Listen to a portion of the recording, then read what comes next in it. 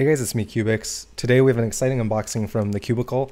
There's some stuff in here that I'm super excited about, and I think there's also a couple things that are more of a mystery, so we'll open this up and see what's inside. Also, obviously, this is a different camera angle, so if you like it, just let me know below. If you like the previous camera angles, then let me know. And finally, if you hear a hum in the background, it's because I'm actually 3D printing something right now. That's kind of cool. Maybe I'll show it in a future video.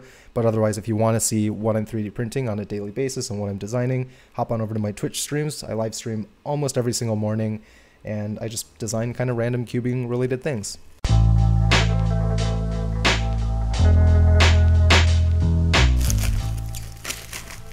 So first, wow.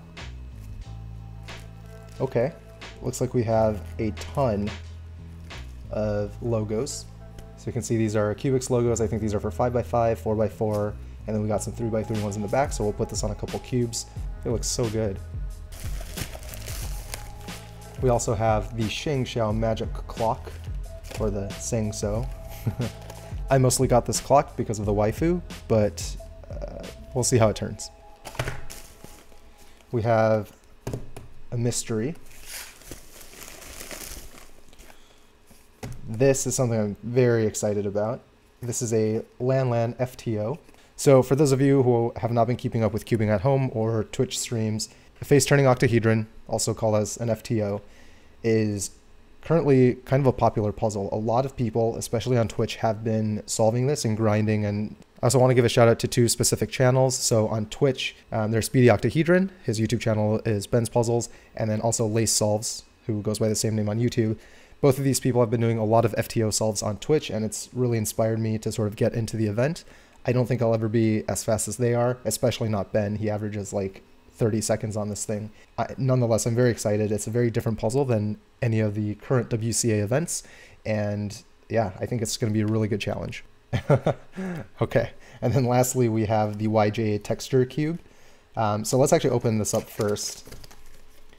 I see. Okay, so the textures are impressively different from all the sides. So this is the only one, for example, with bumps. I think the two that I'll be most confused by are going to be the star pattern and the heart because they both, I mean, they do feel different, but they're both kind of like beveled sides, whereas the blue side is basically flat. This is clearly a square, circle, and then dots. Um, so yeah, I think the only confusion will be yellow and red. I think everything else should mostly be okay. The turning of this puzzle is not horrible. I mean, it can't cut line to line currently, but the tensions are really tight. Yeah, I can't even disassemble it. Yeah, this is to be really fun. Next, we'll unbox the ShengShou clock. So the last time I solved clock was in 2011, and I think since then I've never even touched a clock. So I, generally speaking, I know how a clock works. I know you're supposed to solve the edges first, and then the corners, and then flip it, and then do the same thing. I, think. oh, it's either that or you solve the edges on both sides first and then corners. But um, so on mine, I've heard kind of mixed reviews on this puzzle, but these pins feel really good. They're super tactile. Um, yeah, they feel really good. The thing that I think more people are having trouble with is uh, the cogs. I think some people are saying that it's not tactile enough. And I definitely see that. So even for someone like me who does not solve clock, the cogs are both very stiff and there's almost no tactility. Like I, I can stop it, you know, in between the dots here. Uh, there's, yeah, there's almost no tactility. Um, if anything, there's more auditory feedback than there is uh, tactile feedback. So this is potentially problematic. So interestingly enough, um, when the pins are depressed, at least when one pin is depressed. Let's check some of the other sides here. Okay, so when the pins are depressed one at a time, there is a lot of tactility. So this feels good. Yeah, that feels good. It's, it's just when the entire mechanism is rotating together that there's really no tactility. Pin locks a little bit. Yeah, so here's the problem. When these hands don't align perfectly, so if it's off by a little bit, the pins get stuck.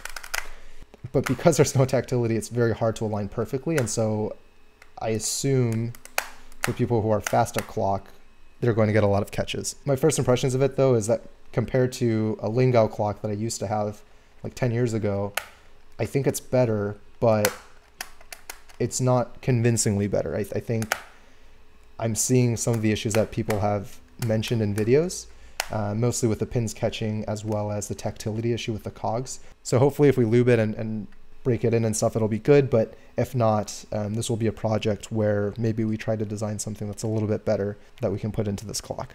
All right, next we'll open up the FTO, which I'm probably the most excited about. So from all the videos I've seen and all the streams, I, I know enough about this puzzle to know that I shouldn't expect too much for the turning. I've heard the hardware is not great. It also feels incredibly heavy and dense.